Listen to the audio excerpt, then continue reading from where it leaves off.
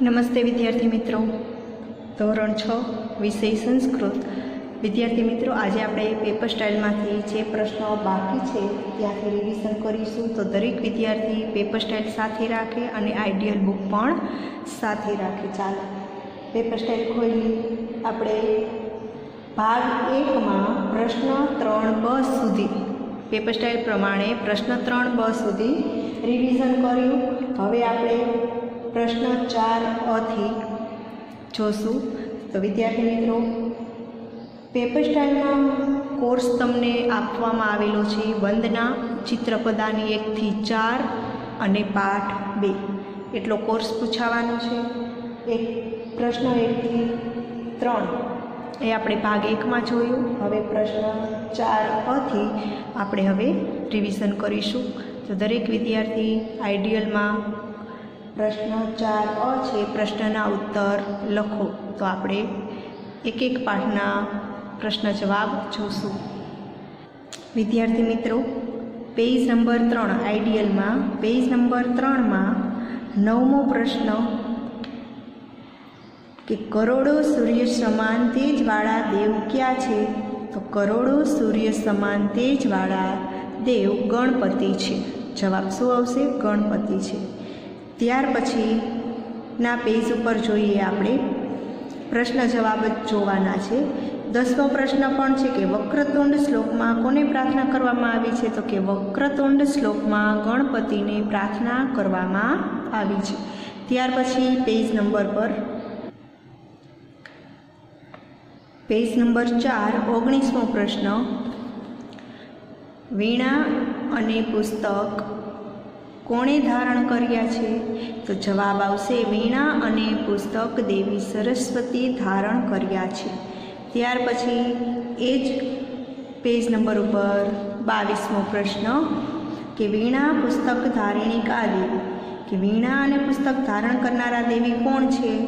તો કે વીણા પુસ્તક ધારિણી દેવી શારદા. ત્યાર પછી ગુરુ સાક્ષાત કહ. ગુરુ સાક્ષાત કોણ છે? તો ગુરુ સાક્ષાત પરબ્રહ્મ છે. ત્યાર પછી પેજ નંબર પાંચમાં ત્રીજો પ્રશ્ન છે.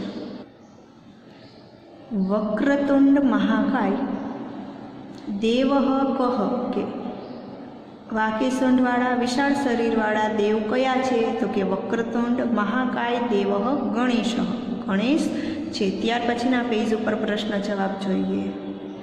ત્યાર પછી પેજ નંબર આઠ ઉપર જોવો. પેજ નંબર આઠ બારમો પ્રશ્ન જોયો તમે કે ફૂલદાનીને સંસ્કૃતમાં શું કહે છે? તો પુષ્પાધાની. તો આ પણ પ્રશ્ન જવાબમાં પૂછાઈ શકે છે. ત્યાર પછી પેજ નંબર નવ પર પંદરમો પ્રશ્ન છે. ચૂલાની સંસ્કૃતમાં શું કહે છે? તો કે ચૂલ્લી. ઘડિયાળની સંસ્કૃતમાં શું કહે છે? તો કે ઘટી. ત્યાર પછીના પેજ ઉપર જોઈએ. પેજ નંબર દસમાં સાતમો પ્રશ્ન છે કે કાળા પાટિયાને સંસ્કૃતમાં શું કહે છે? તો કે કૃષ્ણ ફલકમ. ત્યાર પછી નવમો પ્રશ્ન જોવો. એ પણ તમારે પ્રશ્ન જવાબમાં પૂછાય છે કે પેન્ટનો સંસ્કૃત શબ્દ જણાવો. તો શું જવાબ આવશે? ઉરુકમ. પુષ્પમને ગુજરાતીમાં શું કહે છે? ફૂલ. ત્યાર પછી ચૌદમો પ્રશ્ન છે પુસ્તકને સંસ્કૃતમાં શું કહે છે? પુસ્તકમ કપડાં સીવવાનો સંચો અને સંસ્કૃતમાં શું કહે છે? તો કે શિવણ યંત્ર. ત્યાર પછી પેજ નંબર અગિયારમાં ચૌદમો પ્રશ્ન છે. ગ્રંથનો સંસ્કૃત શબ્દ કયો છે? તો ગ્રંથ.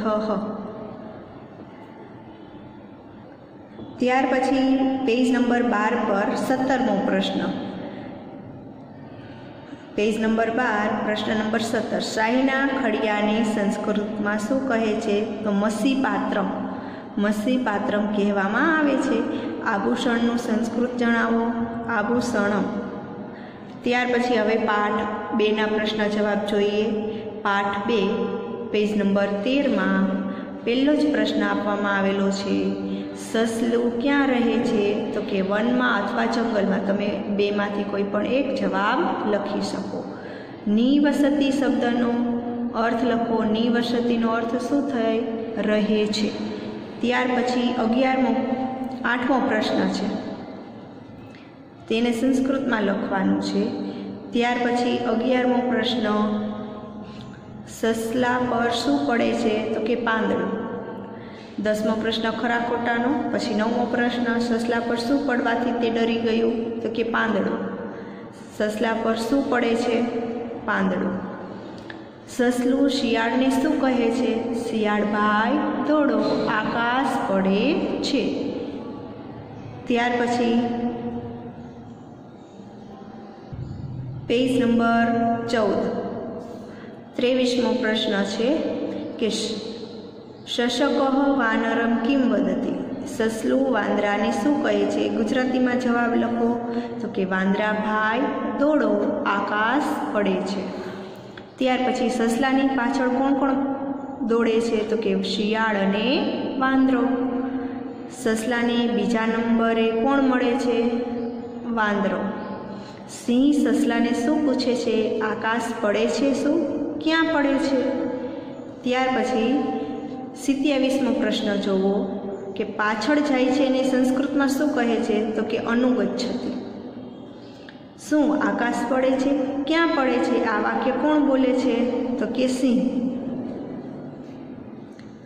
ત્યાર પછી એકત્રીસમો પ્રશ્ન જોવો. અંતે સસલું શું કરે છે? તો કે ભાગી જાય છે અથવા તો નાસી જાય છે. ચાલો વિદ્યાર્થી મિત્રો, અહીં પ્રશ્નના ઉત્તર છે એ પૂરા થઈ જાય છે. ત્યાર પછી પેપર સ્ટાઇલમાં જો પ્રશ્ન ચાર, બ શેનું છે? તો કે ફકરાનું. ભાષાંતર કરો, ફકરાનું ગુજરાતી પરીક્ષામાં તમારે સંસ્કૃત આપેલું હશે, એની નીચે જ તમારે તેનું ગુજરાતી લખવાનું છે. તો પેજ નંબર ચૌદ પર તેત્રીસમો પ્રશ્ન છે કે નીચેના ફકરાનું ગુજરાતીમાં ભાષાંતર કરી લખો. સામેના પેજ ઉપર તમે ગુજરાતી લખેલું. તો આપણે પહેલાં સંસ્કૃત વાંચી લઈએ કે એકમ વનમ અસ્તિ તત્ર શશક નિવસતિ। શશક શયનમ કરોતિ। પર્ણમ પતતિ। શશક ભીત ભવતી। શશક ધાવતી। શૃગાલ આગચ્છતિ। હવે આપણે તેનું ગુજરાતી કરીએ। તો પહેલું વાક્ય તમે સંસ્કૃત જોતા જાજો। એકમ વનમ અસ્તિનું શું થાય ગુજરાતી? તો કે એક વન છે। તત્ર શશક નિવસતી તો કે ત્યાં સસલું રહે છે. શશક શયનમ કરોતી તો કે સસલું સૂતું હોય છે.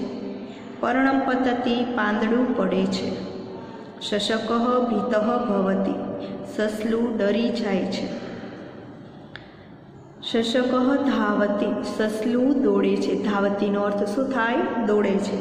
શૃગાલહ આગચ્છતી, શિયાળ આવે છે. ત્યાર પછી બીજું જુઓ. શશક વદતી, શૃગાલ ભ્રાત ધાવતું, આકાશ પતતી. તેનું ગુજરાતી શું થશે? શશક વદતી, એટલે સસલું કહે છે. શૃગાલ ભ્રાત, એટલે શિયાળ પાય. ધાવતું, આકાશ પતતી.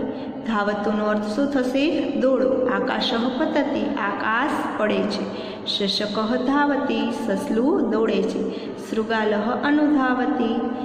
શિયાળ પાછળ દોડે છે. વાનર આગચ્છતી વાંદરો આવે છે. શશક વદતી સસલું કહે છે, વાનર ભ્રાત, વાંદરા ભાઈ, ધાવતું, દોડો, આકાશ પતતી, આકાશ પડે છે. તો તમારે પરીક્ષામાં સંસ્કૃત હશે, તમારે તેનું ગુજરાતી લખવાનું છે. ત્યાર પછી ત્રીજો પેરેગ્રાફ છે કે ભીત શશક ધાવતી ભીત એટલે ડરેલું. શશક ધાવતી સસલું દોડે છે. શૃગાલહ અનુધાવતી. શિયાળ પાછળ દોડે છે. વાનર અપી અનુધાવતી. વાંદરો પણ પાછળ દોડે છે. સિંહ આગચ્છતી. સિંહ આવે છે. સિંહ વદતી. સિંહ કહે છે. કિમર્થમ ધાવસી? કિમર્થમનો અર્થ શું થાય? શા માટે ધાવસી એટલે દોડો છો? શા માટે દોડો છો? શશક વદતી, સસલું કહે છે, સિંહ ભ્રાત, સિંહ ભાઈ, ધાવતો, દોડો. આકાશ પતતી, આકાશ પડે છે. સિંહ વદતી, સિંહ કહે છે. આકાશ પતતી વા? આકાશ પડે છે. કુત્ર પતતી, ક્યાં પડે છે? ચોથો પેરેગ્રાફ આપવામાં આવેલો છે. શશક ગચ્છતી, સસલું જાય છે. સિંહ સિંહ, અપી, પણ, સહ, સાથે ગચ્છતી જાય છે. સિંહ, પણ, સાથે જાય છે. શશક વૃક્ષ સમીપમ આગચ્છતી સસલું ઝાડની પાસે આવે છે. સિંહ વદતી, સિંહ કહે છે. કુત્ર પતતી આકાશ ક્યાં પડે છે આકાશ. શશક કિમપી ન વદતી? સસલું કંઈ પણ બોલતું નથી. સિંહ હસતી, સિંહ હસે છે. શશક, પલાયનમ કરોતી. સસલું ભાગી જાય છે. તો અહીં ફકરાનું ભાષાંતર હતું. ત્યાર પછી પ્રશ્ન પાંચ શેનો છે, વિદ્યાર્થી મિત્રો. શ્લોકનું ભાષાંતર. તો શ્લોકનું ભાષાંતર વંદનામાંથી પૂછાશે તો ચાલો આપણે શ્લોકનું ભાષાંતર કરીએ. વિદ્યાર્થી મિત્રો, પેજ નંબર પાંચ, પ્રશ્ન નંબર ત્રેવીસમાં કે નીચેના શ્લોકનું ગુજરાતીમાં ભાષાંતર કરો. તો પહેલો જે શ્લોક આપેલો છે કે, ગુરુ બ્રહ્મા, ગુરુ વિષ્ણુ ગુરુર્દેવો મહેશ્વર. ગુરુ સાક્ષાત પરબ્રહ્મ તસ્મે શ્રી ગુરુવે નમઃ તો પેલો શબ્દ લેવાનો ગુરુ બ્રહ્મા એટલે ગુરુ બ્રહ્મા છે ગુરુ વિષ્ણુનો અર્થ થશે ગુરુ વિષ્ણુ છે ગુરુર્દેવો મહેશ્વર તેનો અર્થ થશે ગુરુ ભગવાન શંકર છે ગુરુ સાક્ષાત પરબ્રહ્મ તેનો અર્થ શું થશે તો ગુરુ સાક્ષાત પરમાત્મા છે તસ્મે શ્રી ગુરવે નમઃ તે શ્રી ગુરુદેવને નમસ્કાર હો. અથવા તો તેવા શ્રી ગુરુદેવને નમસ્કાર હો.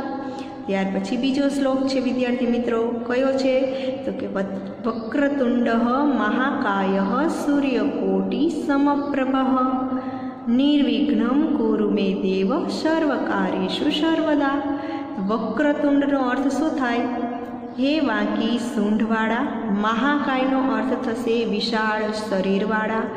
સૂર્ય કોટી સમપ્રભ તો અહીં કોટી એટલે કરોડો, સૂર્ય સમાન તેજવાળા. કોટીનો અર્થ શું થાય? કરોડ. સૂર્યનો અર્થ રહેશે સૂર્ય, સમનો અર્થ થશે સમાન, પ્રભનો અર્થ થશે તેજવાળા. સૂર્ય કોટી સમપ્રભનો અર્થ થશે કરોડો સૂર્ય સમાન તેજવાળા. દેવ, દેવનો અહીં અર્થ છે ગણપતિ. દેવનો અર્થ અહીં શું છે? ગણપતિ, મેં, મારા સર્વ કાર્યેશું, બધા કાર્યો.